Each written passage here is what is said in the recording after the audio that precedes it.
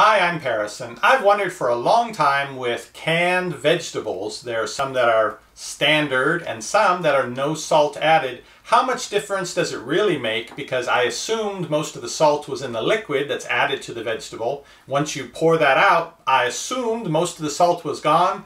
Boy, was I wrong.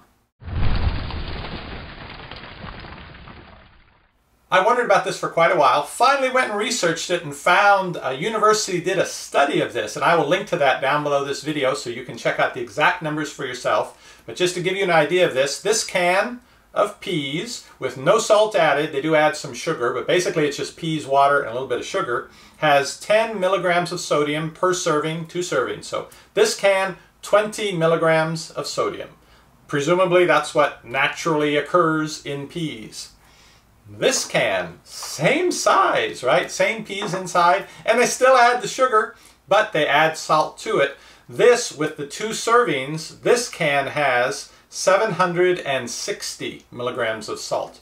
20, 760. But I thought, well, because uh, my daughter especially likes the regular one, she doesn't care for the no salt added. And they do taste nice and salty, I thought, well, at least we drain them first, so probably that gets rid of most of that salt. No, the university study shows that when you drain the vegetables, and it's different per vegetable, but on average with peas, you get rid of about 5% of the salt.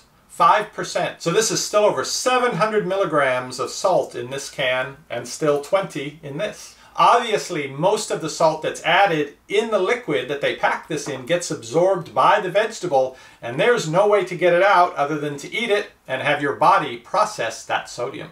Check out the link down below this video to see the university study, to find out the exact numbers, and to see how other vegetables fared in this test. Most of them are pretty similar. It's surprising and disappointing how little of the salt you actually get rid of by pouring off the liquid in the can.